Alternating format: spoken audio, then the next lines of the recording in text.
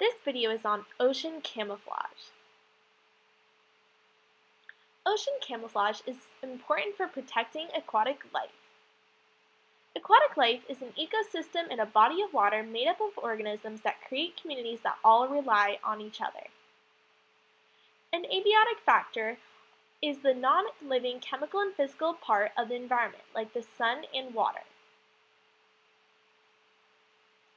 Light is an abiotic factor that helps some organisms camouflage themselves better, depending on if it's dark or light. Camouflage is the use of the concealment by the using colors or illumination like these coralfish do. Depth affects camouflage for it is the distance from the top of the surface to its bottom. Camouflage allows all aquatic organisms to live and prosper together.